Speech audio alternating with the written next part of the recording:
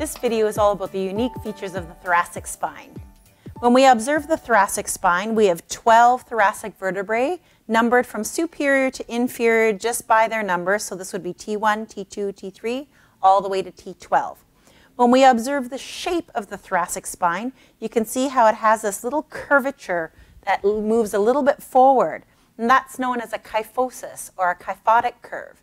So if you've ever seen someone who's slouching a lot, or who's walking down the street with that kind of big hunch there, that's usually known as hyperkyphosis. And hyper meaning a lot or more, and kyphosis meaning kyphotic curve. So it's kind of an exaggerated kyphotic curve.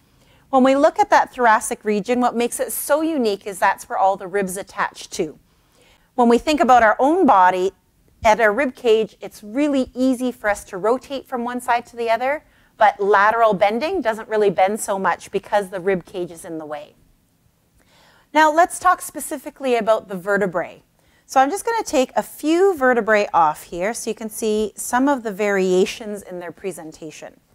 So if we look at this one that's T1, closest to the cervical spine, you can observe here that the body of thoracic vertebrae number one is more bean-shaped. When we look at T12, for sure if we look at the body, it looks very, very different where it's quite wide. It's also thick. Versus in the middle, where most are kind of this shape here, more heart-shaped. So let's look at a very typical thoracic vertebrae. We have the body of the vertebrae, the superior articulating facets, the inferior articulating facets, transverse processes, and the spinous processes, as well as that vertebral foramen in the middle. What makes them very unique, though, is if we stack them together, we've got a couple of things happening here. All the vertebrae when we stack them together, the superior articulating facet of the one below and the inferior articulating facet of the one below, above come together and they make the zygapophyseal joint. When we look to the side, we're going to see a hole, and within that hole, that's the intervertebral foramen. Inter meaning between, vertebral meaning vertebrae, foramen meaning hole, and that's where the spinal nerve exits. What I think is most interesting for the thoracic spine in particular is that we have these costal facets. We have a little part of it on the superior portion of the one below.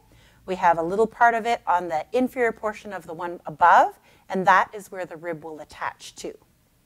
When we look at thoracic vertebrae, they all have bodies, superior articulating processes, inferior articulating processes, transverse processes, spinous processes, and these costal facets.